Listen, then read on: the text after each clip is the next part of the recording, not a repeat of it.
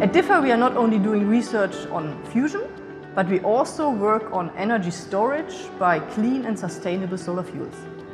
We need new and innovative solutions for sustainable usage of energy because the world energy demand is increasing while the natural resources that we use currently are decreasing. So we are in a transition at the moment.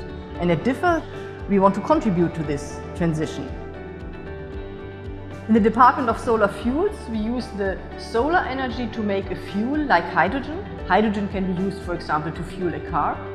And the fuel can be more easily stored compared to electricity that we gain, for example, from solar cells. Therefore, we can store the uh, solar energy during the day when we have the most sun and in the summer and store it for the winter and for the evening. Solar fuel technology is not commercial yet because the efficiency is too low. We need to increase the performance.